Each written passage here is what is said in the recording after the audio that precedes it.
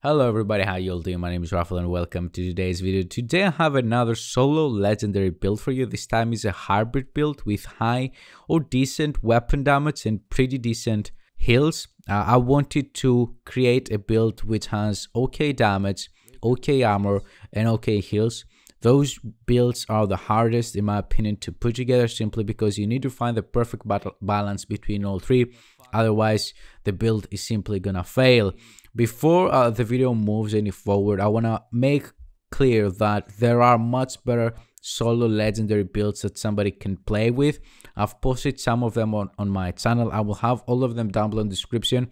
This build, even though it is possible to clear legendaries, as you're about to see, it's not the most optimal build, so to say. Um, I just had this weird obsession for months uh, that I wanted to clear a legendary all by myself with a hybrid build that gives me heals. That's it. That was like a personal challenge. I finally managed to complete it, and that's why uh, I'm making this video. So I'm gonna stop talking for now. Uh, I'm gonna let you watch the rest of the gameplay. As I said, it is from my stream. So yeah, some things I'm about to say probably won't make a lot of sense to you because you weren't reading the chat. But yeah, uh, thank you very much for watching. Uh, I'll talk to you in a bit when we move on to the build part of the video.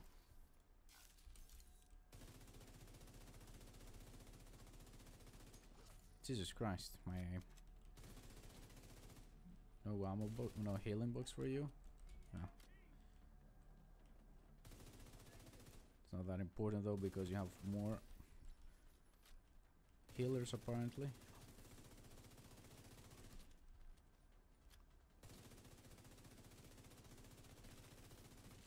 Oh no, we didn't take it down.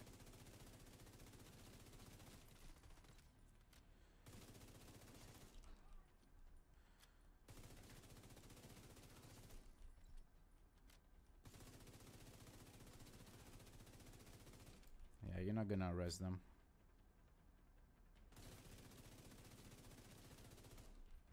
You're not getting healed back there, which is great. Okay, you might arrest them, I guess.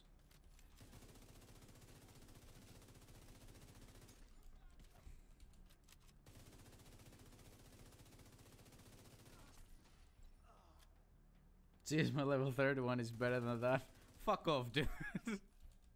okay.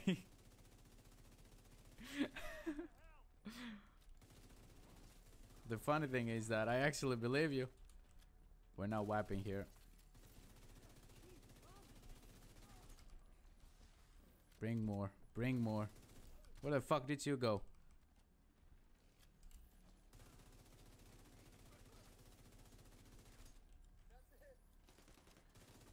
I was definitely a hit.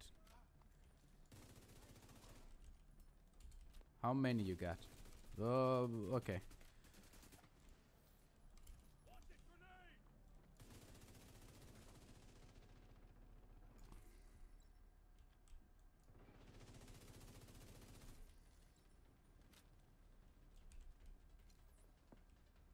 Sanga is coming. I think I timed that right. Yeah.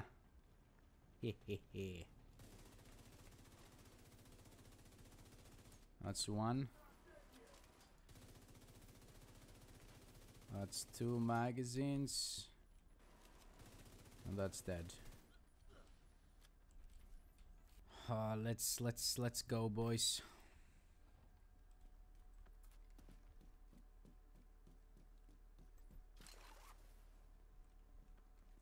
Oh, he saw me too early. We're good, we're good, we're good.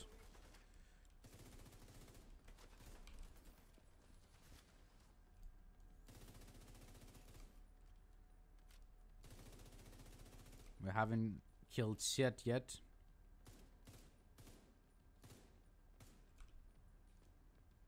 Oh, I have the Scorpio, fuck.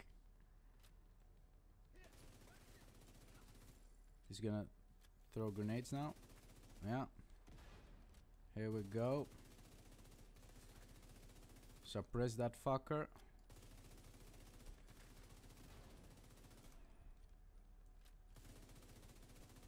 He's going down again.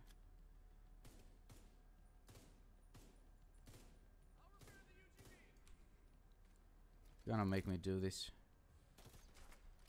Fuck off.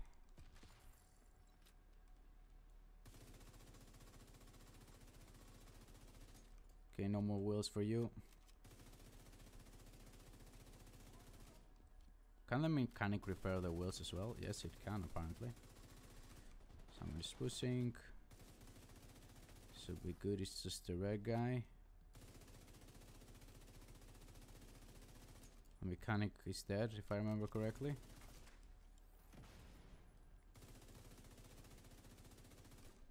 Okay. Destroy our seeker, real quick.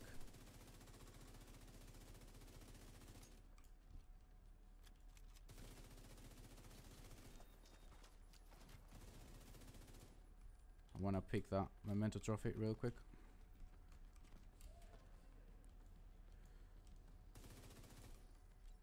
Are they coming out yet? No, they're not. Oh, shit.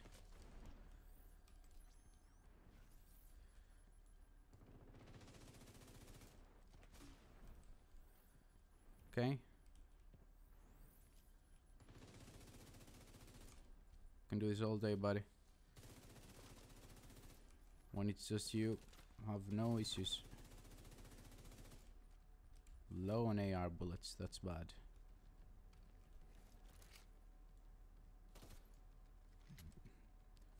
I always forget that the crossbow has uh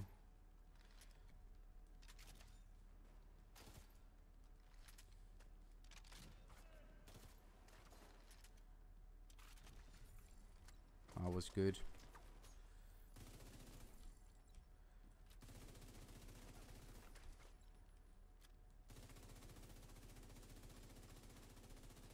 First backpack down.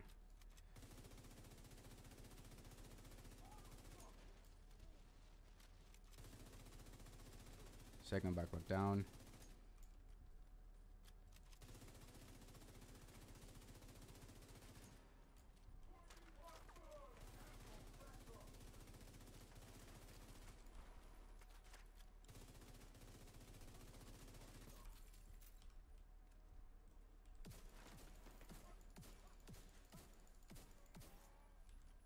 Scorpio, baby.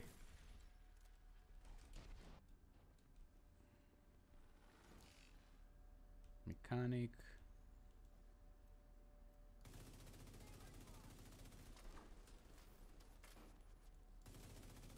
Okay, start start sending me those drones. Let's see them. That backpack is gone. Ooh, can I get that backpack though?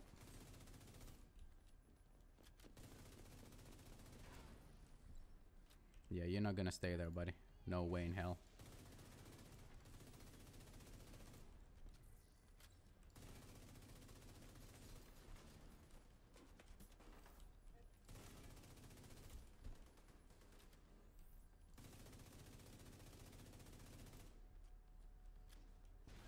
Oh, really? Nope.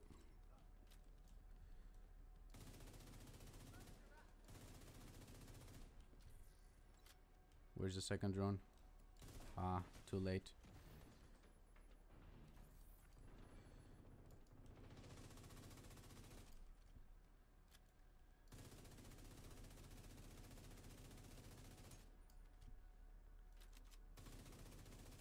That's dead. My guy's dead. Second wave should be coming out now.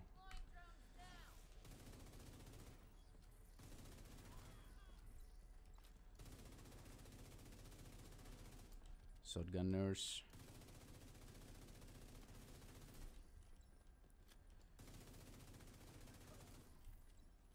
Healing box is down.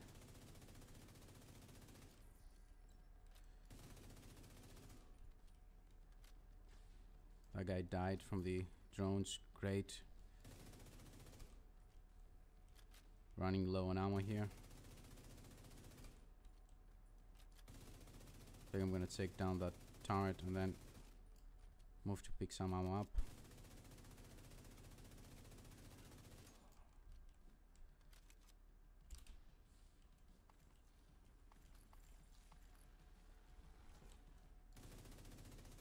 New wave is out. Grenadiers.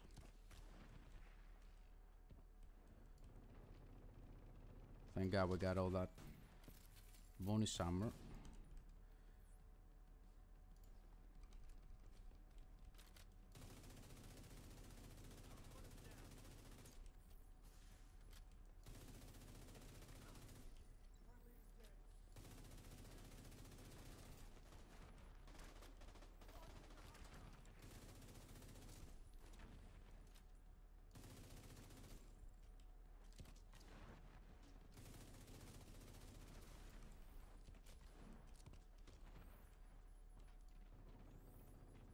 Boys, don't do this to me now.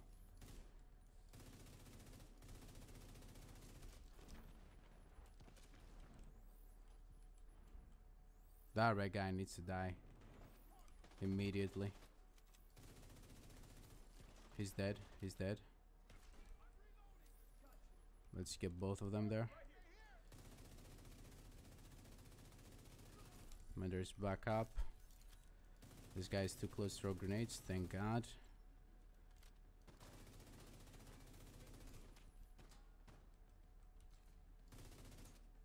Fuck me.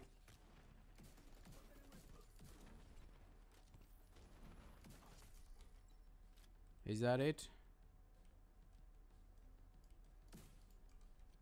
We good? Last guy here? Right? Oh, I hope to God I'm not wrong. Yeah. Yes, sir. Have FPS drops here.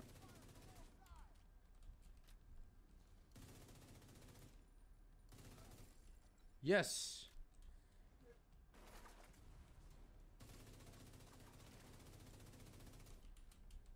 So let's get some more room between me and them.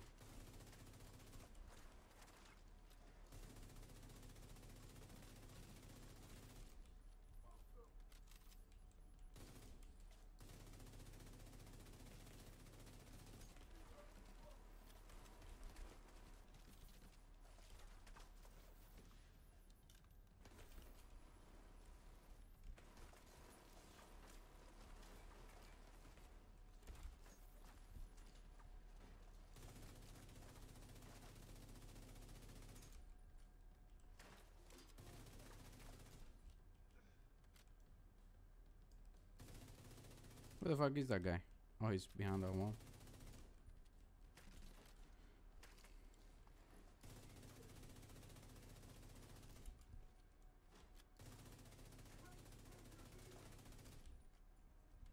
This guy doesn't want to go down.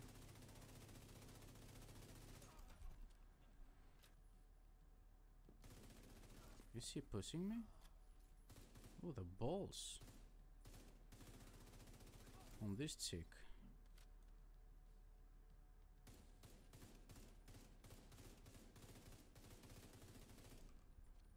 Hello?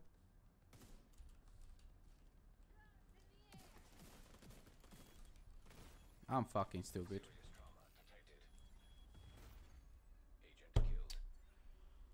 That bitch. I'm not even mad, dude. I deserve this shit. Uh, she didn't do shit. As soon as I tried to approach with my fucking Scorpio, she takes out two fucking drones. Like, fuck off, dude.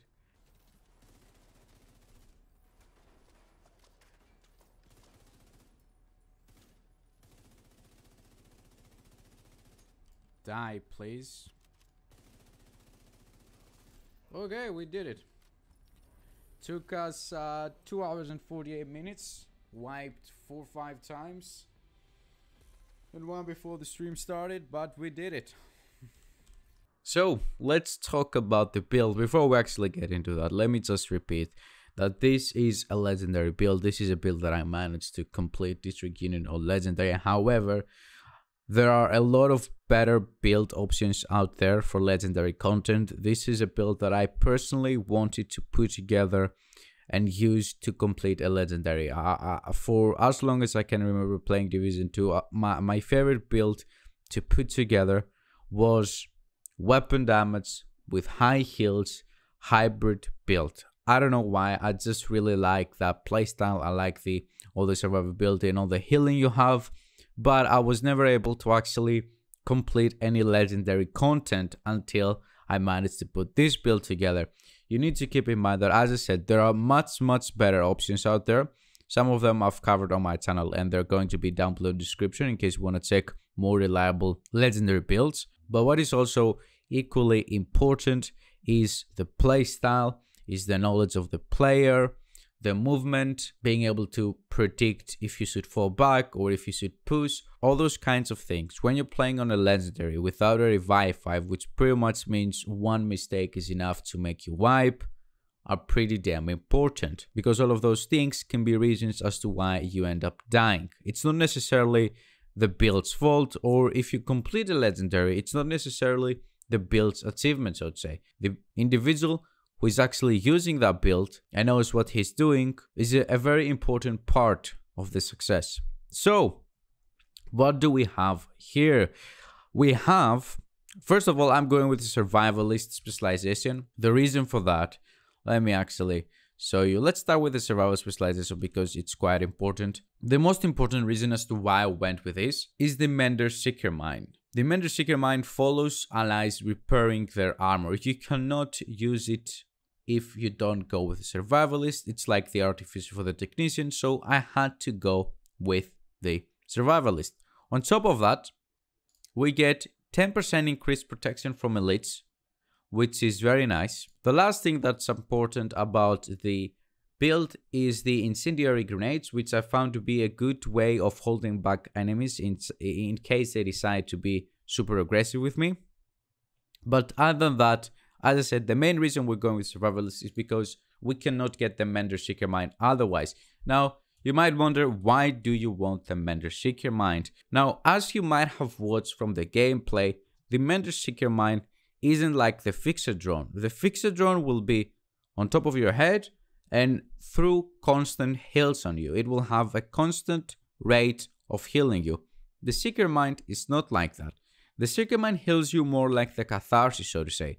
When you take damage, the Seeker Mine will pop out, will throw out a smoke, a cloud of healing. While you're inside that healing, you get heals. While you're not inside that healing, you're not getting heals. Now, what is very important to understand about that skill is that if it pops out the healing cloud and you step out of it and you get shot again, the Seeker won't pop out another cloud. You have to stay inside the cloud. There is a cooldown between how fast the Seeker mine can actually throw out heals, so to say. Now, the next question you might ask is why the Mender Seeker Mine and not, let's say, the Chem Launcher, right? Let me actually show you why. So this is how much I'm healing with Chem Launcher. So I'm gonna damage myself all the way down. I have no armor as you can see. First of all, check the amount of heals that I'm gonna get. And second of all, check the kinetic momentum. The kinetic momentum is not procced right now. Because each time I throw down a cloud, the skill goes on a cooldown. So that means kinetic momentum cannot work. So I'm missing 30% skill repairs just by having different type of skill. So we're going to start from that. Second, as I said, check the damage once again.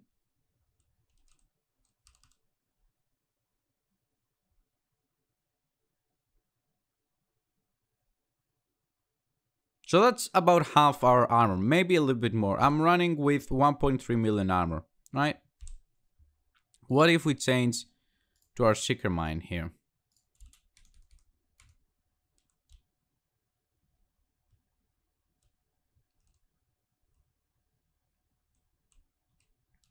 So, Seeker Mine, as you can see, kinetic momentum is active, right? It gets stuck, so we get 30% extra skill repairs just by that. And as you can see, the heals are pretty much the same.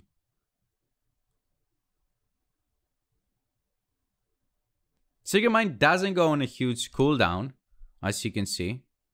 The cooldown of it, um, let me actually step out. So the shooting range doesn't affect with my skills. So the first reason is that kinetic momentum doesn't proc with the with the chem clouds or the chem Hills, excuse me, the chem launcher. Second reason is of course the cooldowns. As you can see here, my Mender Seeker has a cooldown of 18 seconds, and that's with zero stacks on the memento that we're gonna talk about very very soon. When it reaches 30 stacks, we have about 15 seconds cooldown. So that's super super fast in my opinion compared to the Chem Launcher. The heals are about the same, and I feel like a, a Mender Seeker mine throughout those 100, 216 seconds that it has its duration is gonna pop out much more healing than the four or five chem launchers, how many we might have. So that's the reason I decided to go with the Mender. The same goes for the Fixer Drone. I didn't want to have healing skills like the Healing Hive, which basically restricts you to be in one specific area within that range of that skill, or that I will have to pick up, drop down again, pick up again, throw it over here, throw it over there. I don't want to have that stuff. I want to have two skills that are going to be constantly healing me, and the only time I don't have to worry about them is by pressing the button to equip them. After I've throw them out, I don't need to do anything with them for the next 200, 200, 250 seconds. That's what I wanted and that's what I got. Now that we're done with the specialization and the skills, let's talk about the build. The most important piece, of course, here is the memento. The main reason for that is that we start with three core attributes, which all three core attributes are very, very important for the build. We have weapon damage 15%, maxed out armor 170k in one skill tier. We're running two skill tiers in total. We're going to talk about that in a bit. But yeah, three core attributes that we definitely need all three of them. Moving on to the talent, the long-term buff will give me 30% skill efficiency, which translates to 30% skill haste for my skills, so I can get them faster, 30% skill duration, so they last longer, and 30% more skill repairs, which means that their skills are stronger. Then we also get 3% armor generation on top of that, which armor generation with the Fixer Drone and the Mender Seeker work like a charm. Because even though those two skills are healing skills, is not armor regeneration, in the game, the way those heals work, in my opinion, are very, very similar to armor regeneration. You don't have a big amount of skill repairs coming instantly. You don't have a very powerful hive which is gonna give you one charge and boom, you have all your armor back. You just have a constant regeneration of your armor, which I found to be very, very useful. And you can count on it to keep you alive. You can count on it that when something goes wrong, it will give you a pretty decent amount of heals to keep you alive. Now, the third part of the long-term memento buff, which we really, really need, is of course the 30% weapon damage. This build has taken a hit when it comes to how much damage it outputs because we needed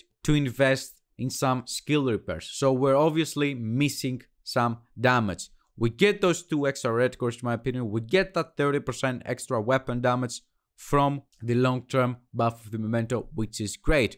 Now, when it comes to the short-term buff, when we pick up a short-term trophy, we're gonna get 30% bonus armor, 5% skill efficiency, and 20% weapon damage.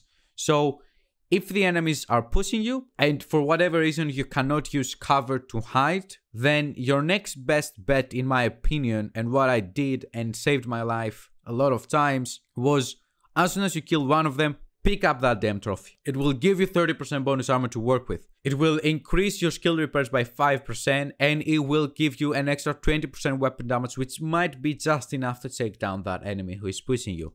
Moving on to the second very important part of the build, in my opinion, that's the chest piece. And that's because we have kinetic momentum. This was a big decision. I didn't know if I should go with kinetic momentum or if I should go with a more damaged talent, so to say. But I decided to go with kinetic momentum and invest most of my attributes into critical hit damage and critical hit chance. As you can see here, kinetic momentum, and I told you that earlier as well, is going to offer to us 60% skill repairs. When in combat, each skill generates and stack while active or not on cooldown. Stacks increase your total skill damage by 1% and total skill repair by 2%, up to 15 stacks per skill, lost when on cooldown. So we have two skills, each skill gets 15 stacks, 15 times 2, 30, 30 times 2 equals 60. So we're getting 60% skill repairs just by using our skills.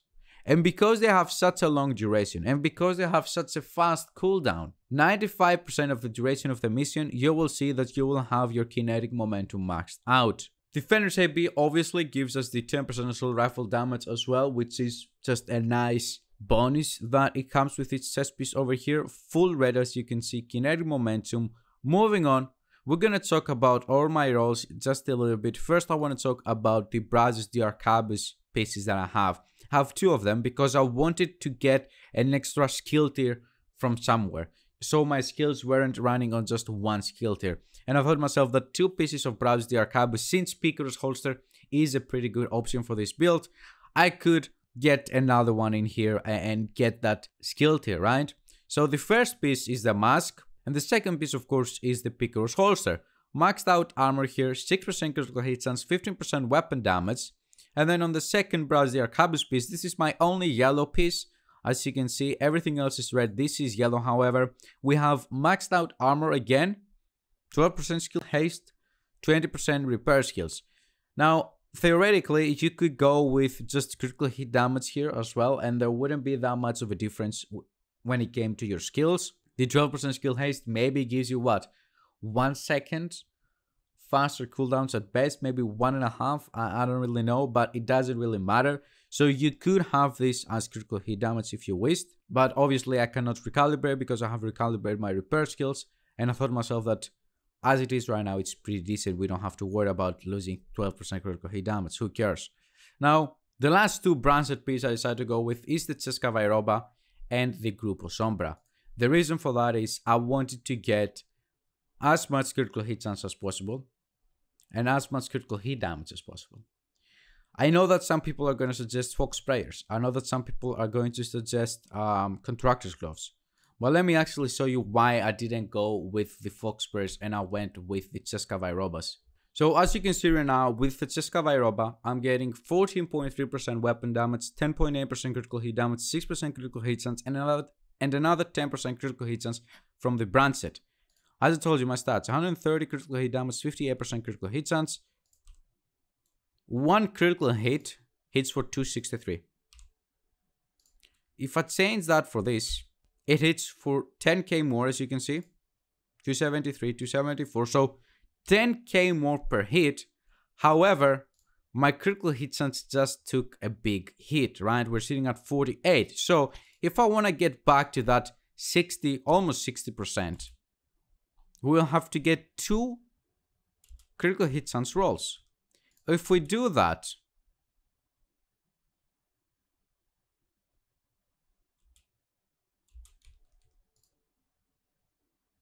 Fifty-five point one. So theoretically, we're going all the way up to 60. So we're having 2% extra critical hit chance than we had with the previous setup. But we're hitting for 245. So in my opinion, Fox's Prayers for this build over here are simply not worth it.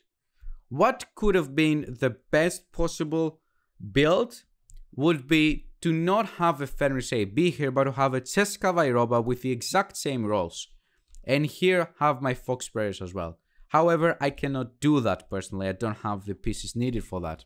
The gloves, as I told you, are Grupo Sombra. I want that extra 15% critical hit damage that I get from the brand set bonus. Then I also get another 12% on top of that. So we're sitting at 27% critical hit damage and on 6% critical hit chance with the Grupo Sombra. If I got the contractor's gloves, it would be simply not worth it. I'm losing at least 15% critical hit damage and 6% critical hit chance in case my attribute roll is critical hit damage. If my attribute roll is critical hit chance, then I would lose 27% critical hit damage, and that 8 or whatever percentage it is that we get damage to armor is not going to be enough to make up for that difference.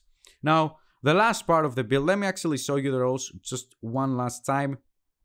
Armor, skill haste, repair skills, critical hit damage gear mode, critical hit damage gear mode on my memento as well, on the chest piece, we have weapon damage, critical hit damage, critical hit chance, critical hit damage, gear mode again. Picaro's holster, armor, critical hit chance, weapon damage. Ceska Vyroba, weapon damage, critical hit damage, critical hit chance. Gloves, we have 15% almost weapon damage, 6% critical hit chance, 12% critical hit damage. And then we have our weapons. FAMAS was uh, not my first option. I would ideally get a Police M4 that has better range and accuracy. However, my Police M4 has Killer on it and I cannot recalibrate that. And Killer wasn't the talent I wanted to go with because it wouldn't be active all the time. So I said, okay, let's go with the FAMAS. I have it on expertise level 12. I have 15% weapon damage on it, 21% health damage, 10% damage targets out of cover, and then Optimist. Weapon damage is increased by 3% for every 10% ammo missing from the magazine. One of the best weapon talents in the game. You can either go with Optimist or Strength. I haven't done the math. I don't know which one hits harder in this build, but you can try both and let me know down below in the comments. The secondary is the classic M1A, of course, rifle damage, critical hit damage, damage to armor, and boomerang. Pretty, pretty good stuff. So that's it pretty much. My stats, once again, 48.1% critical hit chance, which can get 60 because we're missing 9%, 0.9% over here. So that will push us all the way to 59. And then on this one, oh, never mind. We're not missing more. Okay. Yeah, that, that was bad math on my end. But yeah, we can reach 59% critical hit chance if I had this maxed out. And the weapon damage can be increased a little bit as well. We have 1.1 missing from here, another 0.2 and another 0.7. So basically about 2% extra weapon damage. And of course, my critical hit damage also can be improved in this role as well. And of course, then we have the expertise on the FAMAS, which can get another 10%. So yeah, as I said in the beginning of the video, this is not a build that I'm showing it to you because I think you should definitely try it or because it is one of the best or anything like that. When I started my channel, I said to myself, and that was, that still is, and that still is the reason why I'm making these videos, are not to show only meta builds, are not to show only the best builds. It's to show different types of playstyles and builds that players can use and still be extremely successful. Because there is a very big part in the Division 2 community which seems to believe and they tell all the new players or all the returning players who don't really know what's going on in the end game that you should only run meta builds. You should only run the best builds in the game. Anything else doesn't work. If you're running anything else, you're, you know, holding back your team. I'm not in a team, I'm playing all by myself. So I think that when you're playing all by yourself, you can use whatever you like. I'm trying to use these videos to give newer players the confidence, so to say, to go ahead and try out other build ideas, whatever those ideas might be, however stupid they might sound. It doesn't matter. You can use a dozen different builds that a big majority of this community would tell you that oh there's no way you can use that in legendary you can use those builds in legendary and still complete it as i told you down below in the description there will be the best legendary builds I've posted on my channel in case you want to go and check them out. But in case you're looking for something different, in case you want to give yourself a challenge, and that's what I did with myself in this build, I said I want to give myself a challenge. I want to complete a legendary with a build like this one. So in case you like me, this is a build that I think you're going to have lots and lots of fun with. And on heroic difficulty, this is actually an amazing build to run. When you're doing control points, bounties, missions, if you run this on control points, you're gonna kill everything super, super fast. You're gonna have super high survivability, 1.3 million armor, 3% armor generation, constant skill repairs on you, it, it, there's no way you're gonna die. You're gonna have tons, tons of fun. So yeah, thank you very much for watching, guys. Let me know down below in the comment section your opinion about the build. Have a wonderful day, everybody. Bye bye.